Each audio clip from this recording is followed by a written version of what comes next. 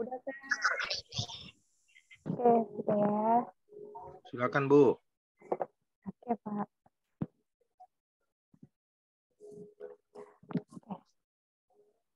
Bismillahirrahmanirrahim. Assalamualaikum warahmatullahi wabarakatuh. Waalaikumsalam warahmatullahi wabarakatuh.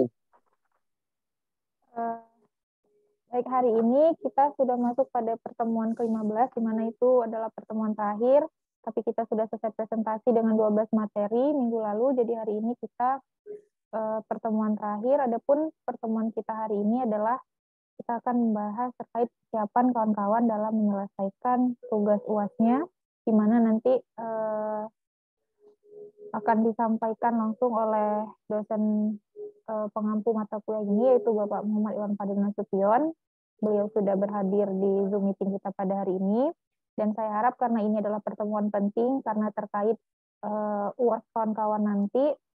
Jadi saya harap uh, kawannya yang belum bergabung untuk diingatkan agar segera bergabung agar sama-sama kita dengarkan materi dari Pak Iwan Fadli uh, terkait persiapan kawan-kawan nanti untuk UAS dan bagi kawan-kawan yang lain tolong diperhatikan kalau perlu dicatat apa poin penting dari apa yang disampaikan oleh Pak Muhammad Fadli Nasution. Kemudian nanti setelah oleh uh, materi dari Pak Iwan Fadli, maka saya akan menyampaikan beberapa hal penting juga terkait perbaikan dari hasil UTS kawan-kawan dan besok akan diserahkan oleh Kosma pada kawan-kawan karena besok uh, tuh, karena kita sudah tidak bertemu lagi, kebetulan kendala renovasi PEBI, jadi Eh, kita tidak bisa bertemu secara langsung, maka besok tugas UTS kawan-kawan pagi saya titipkan pada Kosma, kemudian nanti Kosma akan menyerahkan kepada kawan-kawan, dan eh, itu menjadi dasar kawan-kawan untuk menyempurnakan artikelnya, kemudian nanti disubmit di eh, beberapa jurnal yang akan kawan-kawan eh, submit artikelnya. Oke, mungkin langsung saja sama-sama kita dengarkan materi dari Pak Muhammad Iwan kepada Bapak, kami persilakan. Oke, terima kasih. Bismillahirrahmanirrahim. Assalamualaikum warahmatullahi wabarakatuh. Waalaikumsalam warahmatullahi wabarakatuh. Adik-adik semua yang luar biasa pada hari ini kita berjumpa lagi di media virtual.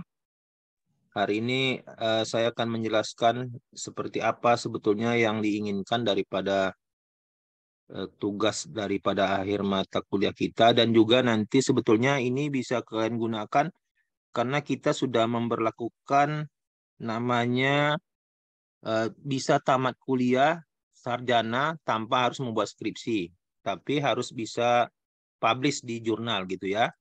Dan inilah sebetulnya uh, modal kalian juga bisa bagaimana memahami membuat jurnal yang membuat paper yang bagus sehingga bisa terbit di jurnal ini ada sedikit materi yang bisa saya eh, bagi. Jadi kita pada hari ini ada bahannya. Bisa dilihat kan? Ini judulnya itu publikasi paper mahasiswa S1. Jadi mahasiswanya kalian ini mahasiswa sarjana ya di pada jurnal nasional. Jadi memang ini hanya pada jurnal nasional, belum lagi jurnal nasional yang bereputasi atau jurnal internasional ya atau jurnal terakreditasi. Hanya jurnal nasional saja. ya kita lanjutkan.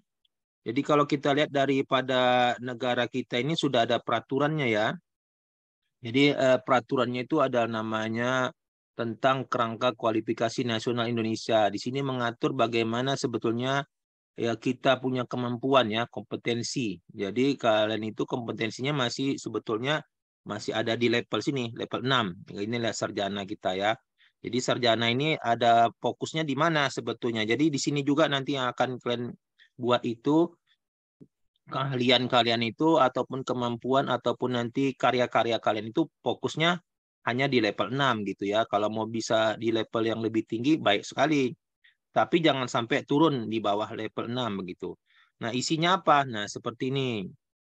Untuk di level 6 ini sebetulnya ada di situ tertulis dan ini bukan saya yang bilang ya, peraturan itu yang bilang dapat menguasai konsep teoritis bidang pengetahuan tertentu secara umum ya dan konsep teoritis bagian khusus dalam bidang pengetahuan tersebut secara mendalam serta mampu memperolehkan penyelesaian masalah secara prosedural. Itulah dia level 6. Sehingga nanti kalau kita lihat ini, dia punya karya-karya. Nah, di sinilah dia. Nah, ini dia. Jadi yang kalian buat itu, karya-karya kalian itu mungkin nanti ya bisa juga karya ilmiahnya berupa eh, tulisan-tulisan gitu ya, ataupun nanti kalau misalnya skripsinya, ataupun apa yang kalian buat. Untuk di sarjana itu yang di diminta ya kan yang diminta atau sampai di mana kemampuan yang diharus kalian lakukan adalah seperti itu Nah, di situ kalian bisa mengaplikasikan, mengkaji, membuat desain, memanfaatkan iptex dalam menyelesaikan masalah prosedural gitu ya. Jadi kalian lihat itu ya uh, ada satu kasus-kasus yang ada di masyarakat misalnya ya. Nah, bagaimana mungkin dengan satu teori tertentu kita bisa menyelesaikan masalah tersebut. Nah, begitu kira-kira yang kalian buat itu. Jadi pelajaran-pelajaran kita pada dari awal sampai pertemuan kita yang ke materi 12 itu itu banyak sebetulnya uh, cerita teori-teori yang bisa kalian nanti aplikasikan kepada kasus-kasus yang ada di pada masyarakat.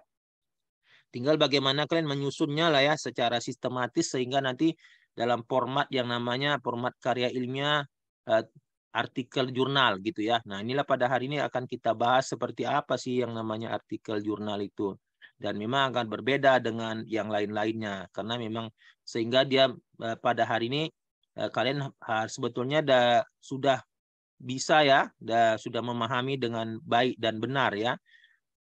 Kita lihat berikutnya eh, dengan demikian maka untuk yang sarjana itu diberi diminta kontribusi ya. Dan di situ dia pengujian teori. Uh, levelnya pengujian teori aja dan uh, bentuk kontribusinya adalah implementasi dan pengembangan. Jadi seperti tadi yang sudah dijelaskan, uh, dengan teori-teori yang sudah kita apa pelajari ya kan nah teori-teori yang sudah kalian pelajari itu yang ada kalian banyak itu kalian presentasikan itu banyak teori kan? Nah itu banyak teori bagaimana nanti teori itu misalnya kita gunakan di mana? Di kasus-kasus uh, di masyarakat gitu ya. Bagaimana teori-teori tersebut menyelesaikan masalah-masalah di masyarakat. Itu saja sebetulnya yang sampai dibutuhkan nanti karya-karya ilmiah kalian yang di level S1 nah begitu ya kalau nanti mau naik ke level S2, S3 boleh, tetapi ya diminta seperti inilah ya.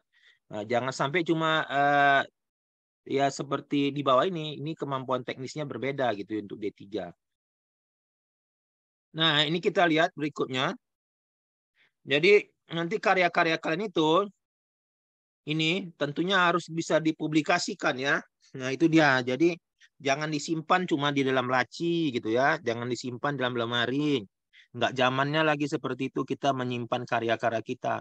Karena karya-karya kita itulah merupakan juga amal-amal jariah kita ya. Bisa dilihat orang dari berbagai macam penjuru dunia ya. Karena sudah terpublikasi di jurnal ilmiah. Karena jurnal ilmiah sekarang itu sudah berbasis namanya elektronik. Dan semuanya bisa diakses secara digital ya. Secara inter, begitu koneksi kita di internet kita cari nanti nah judul kita itu di Google bisa ketemu ya begitu dia. Jadi kalian itu menjadi orang nanti yang bisa terkenal di dunia ya. Dan beberapa eh, abang dan kakak senior kalian itu sudah beberapa karya-karyanya malah disitasi orang, dijadikan orang referensi. Nanti kalau kalian buka nanti Google Scholar saya bisa kalian lihat itu. Banyak juga ternyata ya kalau kita lihat eh, mungkin kita menganggapnya karya-karyanya biasa-biasa saja, tetapi menjadi referensi orang begitu ya. Nah, begitulah kita berbagi namanya berbagi ilmu ya dan berbagi amal juga karena ternyata karya-karya kita itu menjadi referensi beberapa orang. Jadi secara ilmiah eh, jurnal itu terbagi ada dua ya seperti kita lihat di layar ini. Yang pertama namanya jurnal internasional ya. Dan yang kedua ada jurnal nasional. Ini semuanya ada kriterianya ya ada namanya kategorinya. Kenapa bisa disebut internasional? Kenapa bisa disebut nasional? Tapi pada hari ini kita enggak tidak membahas itu secara detail karena itu nanti mungkin ada satu materi tertentu sehingga kita bisa mengidentifikasi yang namanya mana jurnal internasional, mana jurnal yang namanya internasional dan mana jurnal yang nasional begitu. Akan tetapi pada hari ini cukuplah kalian tahu bahwasanya ada untuk dibilang nasional internasional itu ada tiga tiga tiga jenis ya bisa dibilang. Yang pertama namanya uh, bereputasi tinggi. Nah ini nanti dia pengindeksnya di Scopus atau di Web of Science Nah, ini uh, kemudian yang kedua bereputasi menengah itu diindeks oleh DOAJ dan tidak bereputasi gitu ya. Akan tetapi tugas-tugas kalian uh, untuk di level sarjana ini tidak harus sampai tembus ke jurnal internasional. Kalau tembus, wah syukur alhamdulillah luar biasa ya. Memang kalau bisa itu menjadi namanya luar biasa prestasi kalian. Dan nantinya ya kalian begitu bisa tembus di internasional uh, bisa kita apa namanya? menjadi contoh ya, contoh buat uh, kawan-kawannya. Ternyata anak sarjana pun bisa begitu ya, uh, tembus ke level internasional bukan harus dosennya begitu ya. Tetapi memang di jurnal internasional ini ini oh, memang khususan masih kita lah para dosen-dosen dibutuhkan ya. Karena memang da, menembus namanya jurnal internasional itu agak berbeda. Ya terutama ya, mungkin dalam kajiannya dan materi dan tentunya ide dan kerumitannya tentu ya. Nah, begitu. Akan tetapi ini untuk adik-adik mahasiswa ini hanya kita harapkan ya ini yang nomor dua ini gitu ya. Nah nomor dua ini. Nomor dua itu ada namanya jurnal nasional. Jadi jurnal nasional ini adalah jurnal yang ada di Indonesia ya. Nah jadi ada standar Indonesia menyatakan dia itu adalah jurnal nasional. Salah satu standarnya adalah dia terindeks pada Garuda namanya. Jadi begitu ada jurnal kita terindeks di Garuda itulah nama jurnal nasional. Jadi jurnal nasional adalah milik Indonesia. Boleh jadi nanti jurnal nasional ini adalah jurnal internasional, begitu ya. Tetapi tidak sebaliknya, ya gitu ya. Jadi bisa jadi nanti jurnal nasional ini telah memenuhi kriteria dan kondisi sehingga dia bisa naik status menjadi jurnal internasional, begitu. Nah, dengan demikian maka yang nomor dua ini kita harapkan kepada adik-adik semua dia terindeks pada Garuda dan terbagi dua jenis ya. Ada terakreditasi dan ada tidak terakreditasi. Ya. Dan untuk tugas mata kuliah kita ini hanya yang nomor B ya, nomor 2B. Jadi tidak harus yang terakreditasi. Kalau dapat terakreditasi luar biasa, alhamdulillah. Tetapi yang kita harapkan kalian itu hanya terpublikasi saja di jurnal nasional. Jadi nanti jurnal nasionalnya masih banyak lagi di Indonesia Raya ini jurnal-jurnal nasional yang belum terakreditasi. Tinggal nanti dipilih dan dipilah ya. Tentunya dengan karena dia belum memenuhi syarat terakreditasi maka dia belum terakreditasi. Dengan demikian maka tentunya biasanya juga ya untuk menembus jurnal yang tidak terakreditasi itu lebih mudah begitu ya. Karena memang ya begitulah kondisinya tentunya dengan ya dia semakin tinggi level daripada statusnya dia akan semakin berat ya gitu. Maka dengan demikian ini eh, semuanya ini uh, bisa nanti menjadi pilihan-pilihan, ya, tetapi yang kita harapkan itu syarat minimumnya adalah yang nomor 2B. Nah, jadi jangan tidak uh, tidak bisa lagi karena memang udah paling bawah ini sebetulnya syaratnya ya. Dan kalian bisa tembus ke jurnal uh, akri ini, jurnal yang 2B aja bisa terbit, itu layak dapat nilai A gitu ya. Nah, langsung dapat nilai A. Karena ternyata terbukti kalian itu sudah di, di apa? Memang bisa jadi diakui oleh orang begitu ya. Dan dengan demikian maka ini kita lanjutkan. Hmm. Sinilah dia. Jadi jurnal nasional itu. Nah di sini. Nanti ini semuanya bisa dilacak secara digital ya. Nah inilah berbeda zaman zaman dulu kala dengan zaman sekarang. Sekarang semua semua apa pun itu harus bisa dilacak secara digital. Ah, dengan demikian ini kalian juga bisa melacaknya sendiri secara digital. Untuk jurnal-jurnal nasional itu semuanya yang mau terakreditasi ataupun tidak terakreditasi ada di situ di websitenya garuda.kemdikbud.go.id. Nah itu semua tinggal cari aja. Untuk saat ini itu sudah sampai seperti ini ya bisa kalian lihat nih ada 16.000 lebih nih ya, jurnal sekarang nih. 16.767 wah banyak sekali. Masa bisa salah satu dari sini nggak bisa kalian tembus ya kan? Nah begitu. Begitu banyaknya jurnal nasional di Indonesia ini ada sampai 16 ribuan. Masa tidak satu pun bisa kita tembus uh, untuk terbit paper kita ya. Nah nanti kalau mencarinya tinggal buka di sini, masukkan di sini keywordnya, tinggal search ketemulah dia apa yang mau kalian cari itu. Nah tinggal bisa nanti diperiksa, dilihat-lihat. Nah begitu dia Nah, sesuaikanlah mungkin dengan apa yang kalian mau submit ya. Dan di sini nanti memang dia eh, semuanya ini ya dia sini di sini dia ini memang semuanya nanti bisa kalian pilih di, nah sesuaikan ya. Nah, Oke, kita lanjutkan. Nah, ini berikutnya. Nah, ini untuk jurnal nasional akreditasi ya. Nah, jadi jurnal nasional akreditasi ini bisa kalian lihat. Nah, ada di website ini. Nah, jadi tadi boleh juga kalau memang sanggup di akreditasi. Ya, kalau tidak ya nggak apa-apa. Tapi syaratnya tadi apa? Yang paling minimum itu ya begitu ya, ya kan?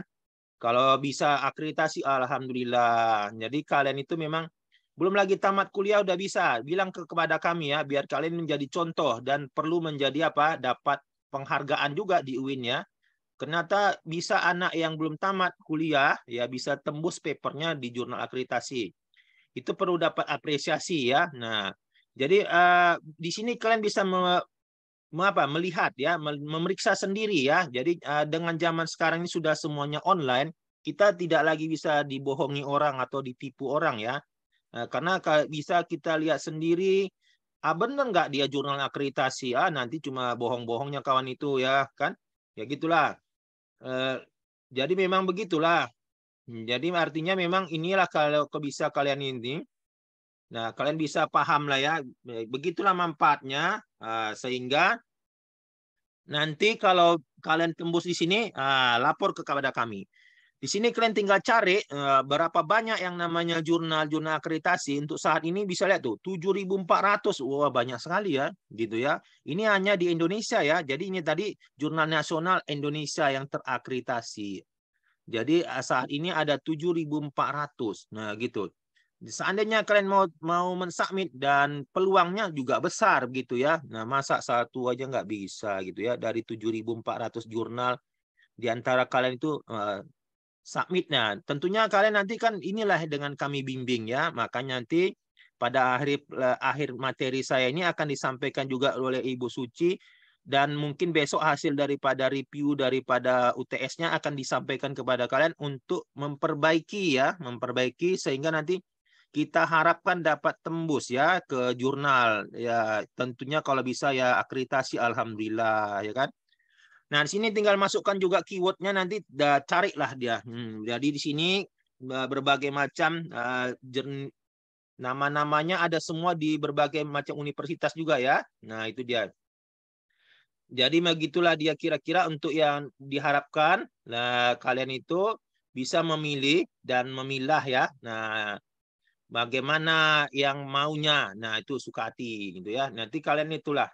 Hmm tentunya ya kalian sesuaikan dengan kemampuannya ya kan tadi. Begitu kita mau submit ke jurnal yang lebih tinggi statusnya atau lebih setinggi derajatnya pasti ialah tingkat kesulitannya agak lebih sulit. Begitu daripada kita yang dia di bawahnya begitulah. Memang begitulah hidup ini kan?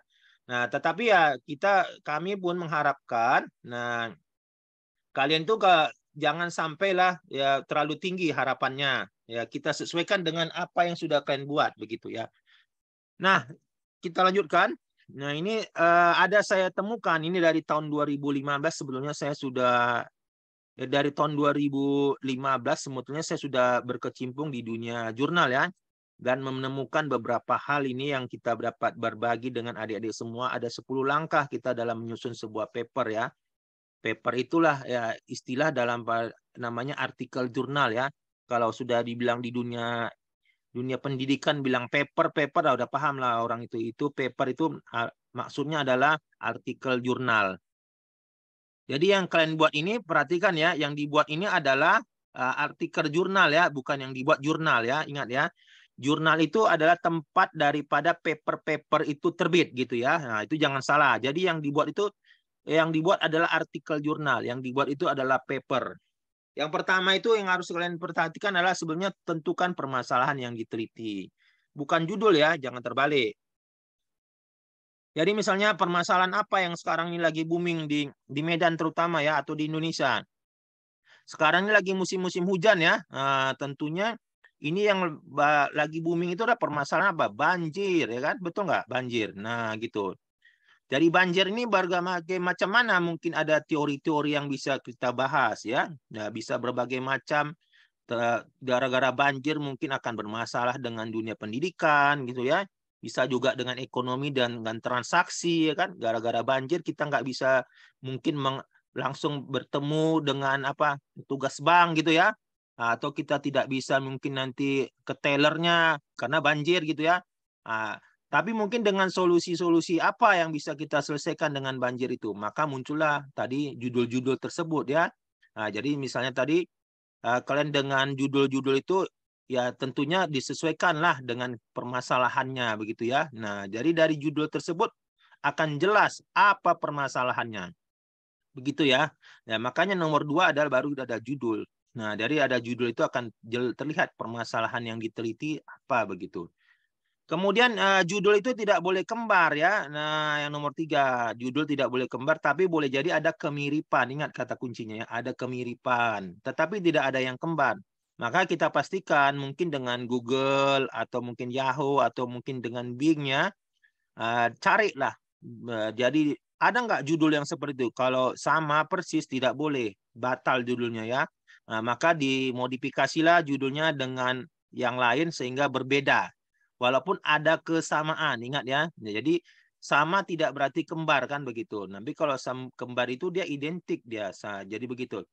Uh, setelah ada uh, tidak ketemu ya. Nah begitu kalian cari judul sebut not found ya tidak ketemu maka baru kita nomor empat. Nah itu dia. Dan nomor empat ini cari jurnal nasional atau internasional yang sesuai dengan bidang ilmu dan sesuai permasalahan uh, papernya. Jadi jadi tadi uh, paper-paper kalian yang sudah kalian submit menjadi UTS itu draftnya, boleh jadi nanti kalau misalnya ternyata uh, tidak sesuai ya mungkin dari hasil review, nah mungkin agak mungkin agak berbeda fokusnya dengan ya materi kita, bolehlah nanti dirubah ya. Nah jadi uh, setelah nanti dirubah nanti ya tentunya dikonsultasikanlah kepada kami dan carilah ya tadi carinya tadi sudah ada kan? Dia tadi kalau untuk jurnal nasional itu di Garuda ya tadi. Itu Garuda eh, atau tadi di Sinta untuk yang nasional terakreditasi. Sehingga nanti kalian bisa memilihnya setelah dapat ketemu. Nah, kemudian bukalah dia buka jurnalnya itu. Nah, lihat. Lihat itu cocok nggak fokusnya dan skupnya dengan isi paper kita itu Nah, gitu. Jangan pula nanti isi papernya tentang misalnya jual beli online, tapi kalian mau submit nanti ke jurnal misalnya jurnal hukum, nggak mungkin lah, nggak cocok dia bidangnya ya kan, nggak cocok fokus dan skopnya itu akan berbahaya. Tentunya nanti kita nggak akan mungkin dipertimbangkan untuk diterima di jurnal itu karena memang akan berbeda fokus dan skop bidang ilmunya. Maka perlu kalian baca ya, ingat itu ya dibaca. Jadi begitu kita ketemu jurnalnya di mana, nah dibukalah websitenya, dilihatlah apa isinya, dibacalah. Nah di situ semuanya sudah disajikan informasinya secara detail ya. Mungkin ada yang berbahasa Indonesia dan ada juga yang berbahasa Inggris. Jadi juga banyak juga jurnal-jurnal nasional itu sudah diformat dan dikemas dengan bahasa Inggris karena bahasa Inggris merupakan bahasa internasional. Karena tadi apa? Karena jurnal ini bisa diakses secara global. Maka kalau misalnya kalian sanggup nanti paper-papernya dalam bahasa Inggris, alhamdulillah luar biasa karena nanti akan bisa dibaca oleh semua umat ya. Nah, tapi kalau misalnya hanya bahasa Indonesia nanti mungkin dengan orang-orang yang mengerti mengerti bahasa Indonesia saja. Tapi itu pun tidak masalah karena tadi memang kita kan ada syarat minimum sajanya ya. Kemudian ada yang nomor lima, periksalah jurnal tersebut bukan jurnal abal-abal atau jurnal predator. Jadi ciri-ciri jurnal abal-abal itu belum apa-apa sudah menjanjikan ini gampang nih terbit. Nah, apa pun papernya terbit. Wah, itu ada ciri-ciri jurnal abal-abal ya. Nah, tapi ujung-ujungnya UUD kan asal bayar sekian. Nah, itu ciri-ciri jurnal-jurnal predator. Jadi kita jangan sampai kejebak kepada hal-hal seperti itu nanti dia tidak akan ada kualitas, tetapi dia hanya uh, sebegitulah bentuk-bentuk yang sudah terjadi. Jadi memang ada beberapa kita lihat dampak-dampak negatif daripada dunia jurnal ini juga ada ya. Salah satunya dampak negatifnya itulah munculnya jurnal abal-abal atau jurnal predator itu. Sehingga untuk kalian nanti submitnya silakan juga konsultasikan kepada kami. Pak, Ibu, kalau kayak gini kira-kira ini macam mana ya menurutnya Bapak Ibu pengamatannya? Apakah jurnal abal-abal, apakah jurnal predator ini gitu ya? Nah, akan kami periksa ya. Nah, jadi alhamdulillah untuk memeriksa ini uh, saya termasuk orang yang ada di di uni di UIN ini yang yang insya Allah dapatlah ya, mengetahuinya ya karena sudah memang cukup lama pengalamannya sehingga dapat kita mengidentifikasikan mana ini jurnal-jurnal yang nakal nih ya, jurnal-jurnal yang abal-abal predator nih.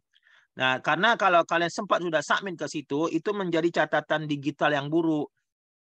Dan kami juga menjadi dosen pembimbing kalian yang sudah akan kalian tuliskan juga nih namanya di nomor 2 dan nomor 3 menjadi terseret-seret. Dan itu akan berbahaya. Karena apabila sudah menjadi catatan digital itu tidak akan bisa dihapus. Semua data yang sudah tercatat di Google itu nggak akan bisa dihapus karena semuanya sudah ada di server Google. Jadi apa pun sampai cerita yang sampai puluhan tahun yang lewat pun nggak bisa kita hapus. Nah, begitu ya. Maka ah, ini hati-hati yang nomor lima ini jangan sampai ini terjadi ya. Maka dengan pada hari ini eh, saya ingatkan kembali. Jadi nanti tentunya akan dikonsultasikan kepada para pembimbingnya. Untuk mata kuliah ini pembimbingnya saya dengan Ibu Suci ya. Nah, kemudian yang nomor enam, setelah kita lihat itu uh, jurnalnya memang paten lah ini bagus ya. Nah, dan setelah konsultasi dengan Bapak pembimbing dan atau dengan Ibu, ini bagus ini jurnalnya. Silakanlah dilihat dulu templatenya gitu ya. Jadi semua jurnal itu ada templatenya. Jadi template itu merupakan tata format ya, tata format daripada uh, paper kita tuh seperti apa? Mungkin hurufnya gitu ya, atau spasinya, atau jenis fontnya ada di situ. Karena itulah merupakan ciri ya, ciri daripada jurnal satu dengan jurnal lain itu ada salah satu memang template-nya juga. Nah, jadi satu jurnal dengan jurnal lain itu bisa jadi template-nya ada kemiripan ya, ingat ya, ada kemiripan, tapi tidak sama persis. Nah, gitu ya. Jadi misalnya tadi ada yang nanti dua dua kolom, ada yang satu kolom, ya pokoknya diikutilah. Nah, bila ini tidak sesuai dengan template, maka akan tidak akan pernah diterima di jurnal itu karena memang jurnal itu template-nya ya seragam gitu ya.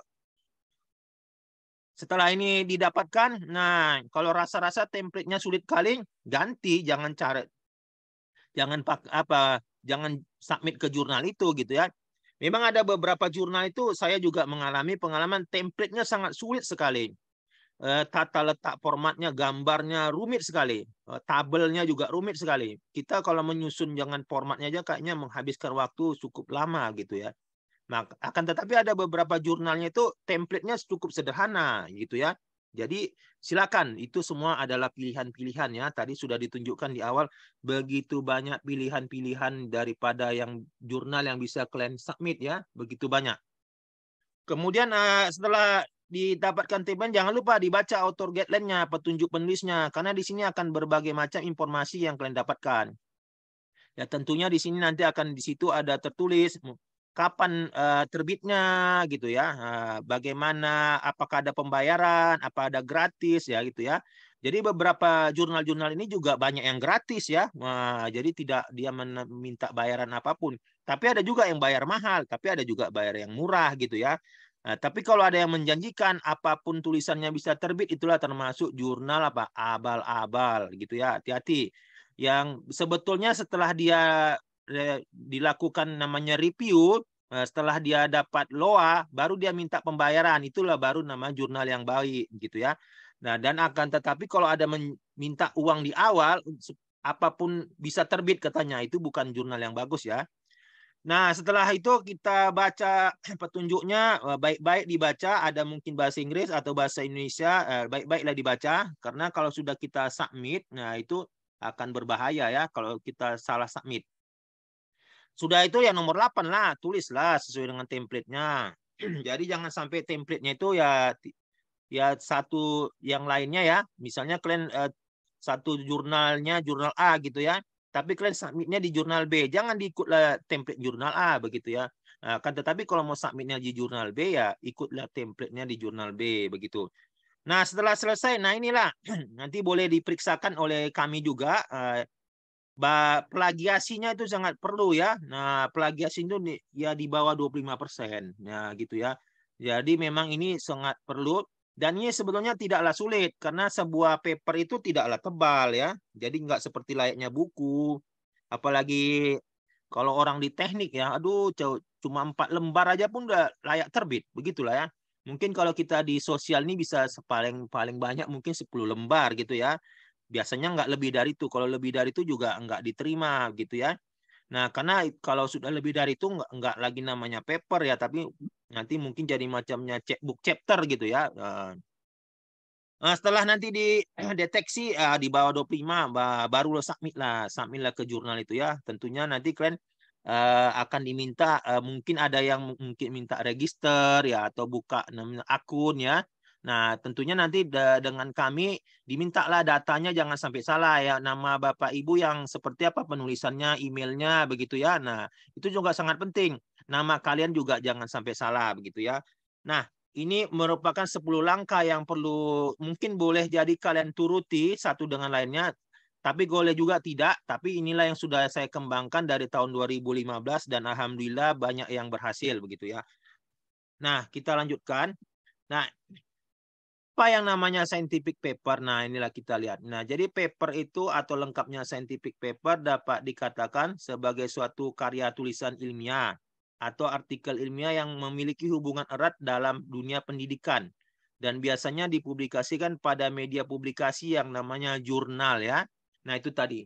Atau proceeding. Kalau proceeding itu dia di apa? Di conference ya. Nah, jadi dia di conference di seminar internasional itu paper-papernya itu Ah, nanti akan masuk yang namanya proceeding istilahnya. Tapi kalau kita ini kan tidak dipresentasikan. Jadi yang tidak dipresentasikan ini nanti karya-karyanya masuk ke jurnal gitu ya. Nah, justru sebetulnya kalau saya lihat lebih berat juga sebenarnya di di proceeding ya, di conference karena kalian itu minta diminta tampil, nah diminta tampil ke depan mempresentasikan karyanya, kemudian mungkin jadi banyak orang yang bertanya, siap-siaplah untuk bertanya begitu ya. Tapi orang-orang yang bertanya itu termasuk dia akan mereview ya, mereview daripada karya kita. Tapi kalau kita jurnal ini malah tidak ketemu dan tidak akan tampil ya, hanya uh, secara digital aja dokumen kita itu mengalir aja ya. Begitu kalian submit, uh, papernya akan diterima nanti oleh pengelola jurnal, pengelola jurnal nanti akan membaca, kemudian akan memberikan kepada para reviewernya dan kemudian reviewernya akan membaca kemudian memberikan komentar-komentar dan untuk kelayakan daripada tulisan kita itu. Apakah itu layak diterima atau tidak atau ada perbaikan atau ditolak begitulah ya. Dan seterusnya sehingga nanti begitu bagus maka paper kita itu karya kita itu layak untuk diterbitkan di jurnal tersebut. Nah gitu Nah, kemudian format ilmiah yang digunakan untuk menulis artikel jurnal itu atau paper tersebut mungkin tampak membingungkan ya bagi penulis awal. Nah, ini memang awal biasa gitu karena memang formatnya uh, atau strukturnya memang kaku ya. Mungkin beda dengan uh, gaya penulisan di koran, majalah, apalagi novel ya. Kalau novel kan suka-suka hati kalian ya buatlah situ ya, macam-macam bisa formatnya. Tapi ini memang ini agak kaku dan dengan buku juga berbeda dia. Nah, ini kita lihat inilah strukturnya. Nah, ini dia. Jadi secara umum, nah secara umum itu nanti kalaupun kalian melihat nanti di jurnal mana pun, dia paling tidak ada sembilan ini ya. Nah, sembilan bagian. Nah, sembilan bagian ini eh, paling tidak haruslah dipenuhi semua. Kalau tidak dipenuhi, ya ada beberapa hal yang wajib dipenuhi. Yang nomor satu adalah judul ya. Nah, jadi uh, setiap karya kalian itu harus ada judul. Tadi sudah dijelaskan di awal. Judul tidak boleh kembar ya. Jadi sehingga kalian sudah pastikan judul itu memang tidak ada di mana-mana walaupun ada kemiripan tadi ya, walaupun ada kemiripan. Kemudian nama penulisnya, nama penulis gitu ya, nama penulis yang pertama adalah kalian ya, lalu penulis kedua dan ketiga adalah para pembimbingnya. Nah ini nama perhatikan, nama jangan tukar-tukar, jangan ganti-ganti, jangan jangan disingkat-singkat. Karena eh, ini dunia digital ya. Walaupun nanti na manusianya sama, akan tetapi namanya penulisannya berbeda, dianggap nanti akan ada dua ya. Contohnya misalnya ada penulisan Muhammad gitu ya, nah, Muhammad Irwan misalnya. Ada satu lagi kemudian M Irwan. Itu ada dua nanti dianggap oleh apa? Di dalam dunia digital itu bisa jadi dua begitu. Maka uh, memastikannya jangan pernah tukar-tukar lagi. Sehingga kalau bisa namanya ya nanti ditanyakan. Nah, untuk nama kalian juga kalau bisa jangan ditukar-tukar. Ya, saran daripada saya, namanya sesuaikan dengan yang di ada di mana, di ijazahnya begitu ya. Kenapa demikian? Karena beberapa mahasiswa saya juga ada itu ada yang di, di PB juga bahkan itu kemarin dia apa sedang coba untuk apa namanya beasiswa ke Korea. Alhamdulillah diterima dia. Jadi dia di sana di Korea juga ditanya, apakah sudah pernah membuat karya ilmiah? Wah, gitu kan. Mana buktinya? Nah, begitu dia. Jadi juga nggak bisa lagi zaman sekarang. Saya sudah karya-karya segini, begini, begini banyak. Tidak bisa. maka karyanya harus bisa ditunjukkan secara digital. Untunglah dia pernah ya. Pernah juga dia dulu dengan saya membuat itu. Seperti inilah nah, kita ini nanti ya kalau kalian punya paper bisa terbit. Itulah ditunjukkannya dan alhamdulillah sekarang udah, udah diterima dia ya di Korea ya melanjutkan studi S2. Kemudian nanti yang ke berikutnya lah afiliasi. Ini afiliasi juga salah-salah. Untuk afiliasi kita penulisannya lengkap ya. Universitas Islam Negeri Sumatera Utara, begitu. Nah, koma Indonesia, begitu ya. Nah, itulah penulisan afiliasinya dan jangan salah, jangan disingkat karena sama ya. Ini kan dunia digital tadi ya. Nah, jadi boleh jadi orangnya sama, tapi karena penulisannya berbeda, dianggapnya di berbeda begitu. Kemudian ada email. Nah, email nah pastikanlah ini emailnya juga email yang digunakan, jangan salah. Nah, Kemudian ada abstraknya. Jadi daripada bagian daripada tulisan itu yang kedua itu nanti ada abstrak. Nah, dari abstrak ini intinya begitu orang membaca abstrak akan tahu apa yang isi daripada paper itu ya. Begitulah dia. Jadi dengan abstrak itu tidak panjang-panjang. Semuanya bisa hanya sedikit ya. Kalau di, di teknik itu mungkin hanya 200 kata malah ya. Nah, mungkin kalau di ekonomi, di sosial ya paling banyak mungkin 250 lah. Ya ada juga beberapa jurnal memang 300 kata. Tapi jarang ya. Nah, biasanya paling banyak 250 kata saja.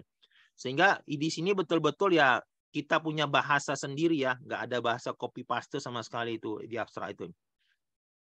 Lalu kemudian ada bagian pendahuluan. Nah, di bagian pendahuluan ini adalah berisi sebenarnya kalau kita kalian punya skripsi, adalah di sini adalah berisi apa? Latar belakang masalah ya. Nah, latar belakang masalah uh, ataupun apalah pentingnya penelitian itu kita lakukan. Di sinilah diungkapkan. Dan bagaimana penelitian-penelitian orang sebelumnya apakah sudah ada apa tidak maka di sini akan berisi seperti itu. Uh, jadi kita punya latar belakangnya berisi daripada fenomena-fenomena yang terjadi gitu ya, kemudian kondisi-kondisi sehingga juga penelitian-penelitian sebelumnya sehingga menunjukkan betapa pentingnya kita punya bis, penelitian ini perlu diteliti. Nah, gitu sehingga istilah juga orang ini ada gap risetnya ya. Di, di situlah kita masukkan di pendahuluan. Jadi riset gapnya ada di situ ya sehingga pen, penelitian kita dengan judul itu uh, layak. Hmm, maka di pendahuluan itu boleh kalian ungkap. Nah, ini juga uh, untuk level-level ya daripada tadi jurnal itu agak berbeda ya. Nah, makanya uh, nanti daripada reviewer akan menilai. Tapi biasanya tadi seperti sudah dijelaskan, untuk yang uh, semakin tinggi tentunya semakin rumit. Nah, biasa itu ya. Kemudian yang nomor empat itu ada metode penelitiannya dan material. Mungkin untuk yang di ekonomi tidak ada materialnya, tetapi mungkin orang-orang di saintek itu ada material. Nah, dia akan menggunakan misalnya ada bahan-bahan, apalagi di fisika ya, ada bahan-bahan laboratorium. Nah, jadi metode ini metode yang kita gunakan untuk menyelesaikan masalah tersebut. Jangan metode yang lain-lain gitu ya. Metodenya, caranya tentunya satu masalah dengan masalah yang lain akan berbeda metode menyelesaikan masalahnya. Maka tuliskanlah yang kita gunakan itu untuk menyelesaikan masalah tersebut pada paper kita ini aja. Lalu ada yang nomor lima hasil ya. Jadi daripada metode tersebut sudah menyelesaikan masalah ya. Jadi masalah tersebut kita selesaikan dengan metode itu tentu ada hasil ya. Nah hasilnya itu kan jelaskan nah, apa di situ. Nah kadang-kadang uh, hasil dan pembahasan itu disatukan bisa ada. Tapi ada beberapa paper itu dipisah ya. Kadang-kadang dibuat situ uh, hasil dan pembahasan. Jadi setelah hasil itu ada, kemudian hasil itu kalian bahas. Kalian di situ kalian bahasnya apa? Kalian bandingkan dengan yang sudah dibuat-buat orang. Jadi nanti akan nampak di situ novelty-nya ya. Nah, di situ ada akan nampak keterbaruannya yang kita buat itu seperti apa gitu ya. Nah, di situlah di pembahasan itu akan lihat oh yang dibuat si Ucok ini ternyata berbedanya dari orang itu ada di sini. Nah, begitulah kira-kira. Lalu yang nomor tujuh. Ini ada kesimpulannya, jadi kesimpulan daripada penelitian kita ya, bukan kesimpulan yang lain-lain. Nah, itu dia. Jadi kesimpulannya seperti apa? Nah, jelaskan dari situ mungkin dalam satu paragraf itu secara komprehensif ya, secara lengkap. Nah, lalu yang nomor 8 ini boleh ada, boleh tidak ya. Untuk penelitian-penelitian yang dapat bantuan biaya, ini harus dia ucapkan. Terima kasih uh, kepada ini itu ya, misalnya atas uh, dana penelitiannya, begitu kira-kira. Jadi, tapi kalau untuk uh, kita punya paper ini tidak perlu ada nomor 8 ya. Nah, gitu. Yang paling penting nomor 9 juga. Nah, di sini kalian harus menuliskan bahan-bahan referensi yang kalian ambil ya, ya sebagai sumber sumber informasi, sumber data dan lain-lain dan jangan lupa lah ya kan diambil juga lah dari bahan referensi dosen-dosennya gitu ya. Jangan pula hanya dosen yang lain. Padahal dosen-dosen kita juga banyak karya-karyanya. Kalian harus juga perhatikan. Nah, penting dalam artikel jurnal ilmiah itu ya mulai di sini ya di abstrak itu ya harus dia bisa ya bisa di situ akan kelihatan datanya ya kan? Kemudian akan ada bagaimana introduction itu harus clear ya. Harus simple. Kemudian metode itu kalian harus bisa menggunakan metodenya memang yang yang benar ya yang akurat gitu ya. Ah, kemudian di sini di resapnya hasil ya. Nah gitu. Jadi hasil ini bisa juga disesuaikan ya. Biar dengan hasil itu bisa juga kalian harus biasanya juga disajikan dalam bentuk apa tabel-tabel ya dan bentuk gambar-gambar ya. Nah, itu biasa memang gitu. Ya, kalau cuma kata per kata itu sangat capek orang membacanya ya. Biasanya memang hasil itu kita harus sajikan juga dalam bentuk gambar-gambar atau tabel dan kemudian gambar dan tabel itu harus dijelaskan apa isinya, apa maksudnya. Itulah namanya interpretasi datanya ya, begitu ya. Kemudian ada discussion tadi adalah di situ pembahasan ya, dah pembahasan dan hasilnya, hasil dan pembahasan. Eh, kemudian dan seterusnya ada kesimpulan. Nah, dan inilah kira-kira ya di dalam hal artikel ilmiah yang perlu kalian perhatikan. Dan satu lagi ya, di sini jangan ada memanipulasi data gitu ya. Jadi data yang kita buat itu adalah data yang benar, bukan kita data, data yang rekayasa. Dan ini beberapa materi-materi saya ini. Ya ini yang bisa kalian lihat ini ada juga di sini di websitenya. Nah itu ya bisa di apa bukan di website di YouTube ya. Nah, itu ada beberapa, boleh kalian lihat-lihat kembali. Nah, ini uh, mungkin itu saja yang bisa saya sampaikan. Terima kasih. Assalamualaikum warahmatullahi wabarakatuh. Saya kembalikan kepada Ibu Moderator. Waalaikumsalam warahmatullahi wabarakatuh. Uh, Oke, sama-sama sudah kita dengarkan materi dari Pak Iwan Padli. Jadi saya rasa materi tersebut sudah sangat cukup jelas. Namun uh, apabila dari kawan-kawan ada yang ingin bertanya, maka kita buka sesi tanya jawab dan langsung ditanyakan kepada Pak Iwan Padli. Tapi teknisnya kita satu-satu aja, jadi satu pertanyaan nanti mungkin langsung dijawab oleh Pak Iwan Padli saja. Silakan, siapa yang mau bertanya?